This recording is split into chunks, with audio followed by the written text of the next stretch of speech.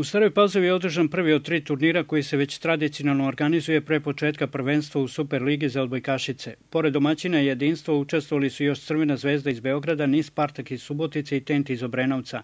Najviše uspeha imale su odbojkašice Crvene zvezde koje su zabeležile sve tri pobede i osvojile prvo mesto sa osam bodova. U odlučujućoj utakmici sa puno uzbuđenja i rezultatske neizvesnosti pobedili su jedinstvo sa 3-2 i pokazale da se polako stabilizuju posle svih problema koje su imale prošle sezone.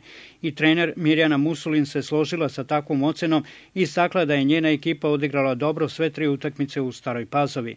Prošle godine je ova ekipa izuzetno mlada i neiskusna bila.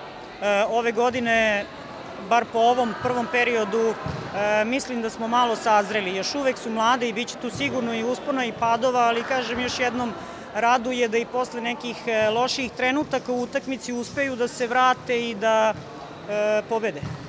Jedinstvo je dobro počelo turnir i lako pobedilo podmlađeni sastav Niz Spartaka, pa se činilo da će opravdati ulogu favorita i osvojiti prvo mesto.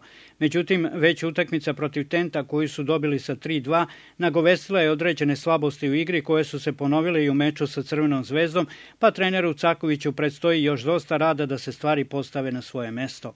Pa pokazale su ono na što možemo da računamo, kakav kapacitet imamo, pokazale su nešto što moramo da napravimo nadam se pred sezone, a neće biti ni malo lako. Vi znate su našu igru i naš nosioc igre prethodne godine bila jedna Marija Jovanović i mi sada, ona je neko koja preuzima odgovornost i nije nikad beža odgovornost i nosila ih.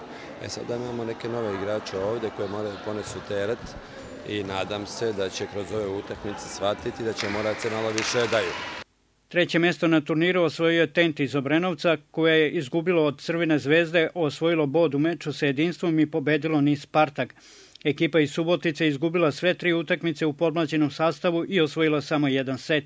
Sledeće nedelje igraće se turnir u Subotici, domaćin je Nis Spartak, a učestvovaće i jedinstvo.